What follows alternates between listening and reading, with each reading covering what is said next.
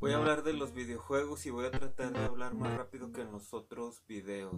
Yo conocí el Atari y el Nintendo, el Atari cuando estaba en la primaria y solo tengo un vago recuerdo.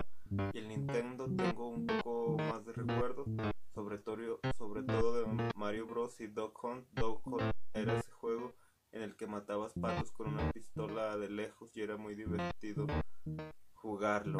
Después del Nintendo Recuerdo las maquinitas, recuerdo Street Fighter 1 que jugaba saliendo de la secundaria, las retas, pero siempre fui bastante malo. Tengo los recuerdos de esos videojuegos de cuando estaba en la primaria y en la secundaria. En la prepa casi me olvidé de ellos y en la universidad también. Hasta después, en una época más adulta, jugué Xbox, Halo, Gears of War y Fable.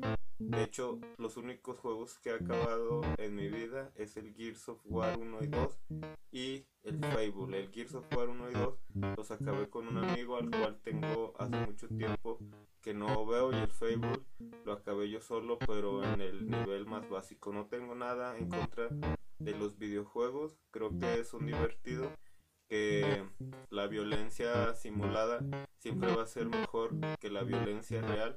No creo que los videojuegos hagan violentos a los niños, creo que el ser humano tiene un lado violento y es mejor que lo que ese lado lo explote y lo desarrolle en los videojuegos que con sus compañeros o con sus coetáneos.